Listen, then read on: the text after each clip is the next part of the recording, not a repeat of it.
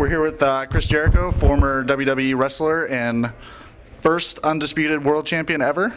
How's it going, Chris? Are you nervous? A little bit. I think he's going to beat me up. No, I'm not going to beat you up. I'm just going to amaze you with my intellect. There you go.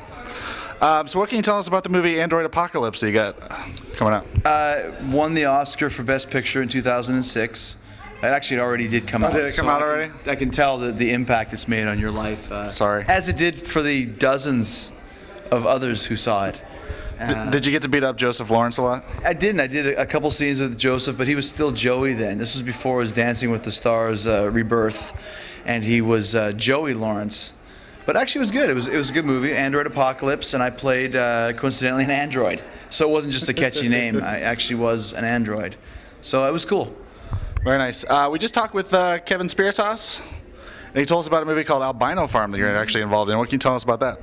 Albino Farm is uh, we just finished that in June, and it's actually pretty good. It's an old-fashioned creature feature type thing, and I think it's going to be a Lionsgate film, um, either that or a Ghost House film, Sam Raimi's company.